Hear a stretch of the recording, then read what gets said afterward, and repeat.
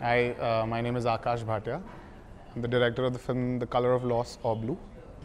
I watched Gurinder's film earlier in the day. Uh, Lost at the Sea. I'm forgetting the name of the film. Yeah, it was quite nice. I liked it. It's it's, it's fantastic that um, teachers and students have come together to. Uh, with the want to watch films, want to make films, and just you know to curate a festival, that in itself is fantastic. I think it's kick-ass.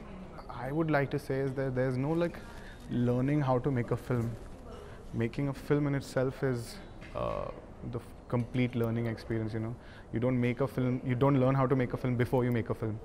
You know, you can only learn while you make a film, and I think it's best to it's best to make 10 bad films than not to make a single one you know obviously it's a great thing to make a good film but it's also really good to make 10 bad films than to not make a film at all so any young filmmaker uh, i myself consider myself as a young filmmaker uh, young because i'm young. I'm, it's still nascent for me in my cinema journey in my filmography. I think it's important to go out and try and make a film. I think things slowly tend to come together and i think after a point the sense of belief that comes with making a film only triggers you to want it's addictive. So if you don't make a film you're not a filmmaker